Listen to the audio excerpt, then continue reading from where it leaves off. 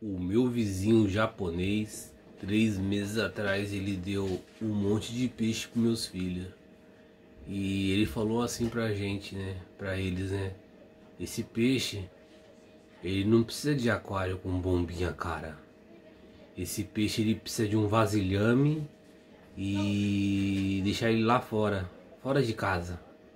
Porque vai tomar sol, vai ter ar e o sol e o ar vai fazer oxigênio na água para ele.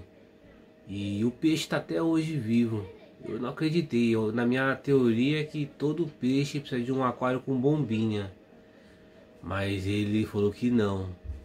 Porque ele já, te, ele já faz essa criação faz tempo. E hoje eu. Todo dia as, as crianças acordam, as crianças dão peixe, troca água, sempre lá fora. Nunca, o peixe nunca dormiu dentro de casa, sempre dormiu lá fora. E hoje eu acordei, dei uma olhadinha, o peixe tá quase desse tamanho, também tem um susto. São peixe nobre.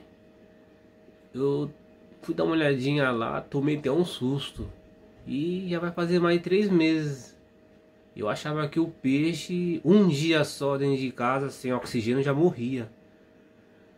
Então lá fora o japonês ele não erra não, né? O japonês ele já tem essa cultura antes de Pedro Alves Cabral descobrir o Brasil, né? Então eu vou dar uma olhadinha lá e mostrar pra vocês. Vamos até o finalzinho lá do vídeo que vocês vão ver, hein? Esse é o aquário da Evelyn. Tá aí os peixinhos,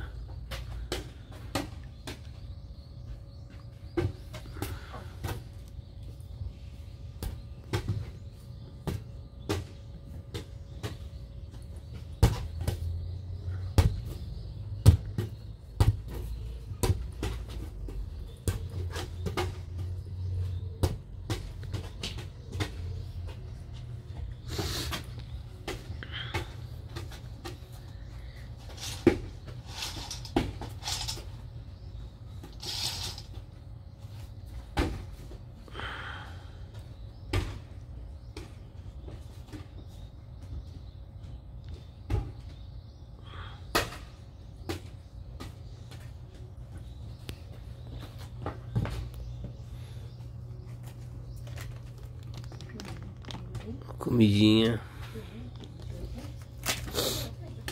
e uma tenda para os pássaros não pegar.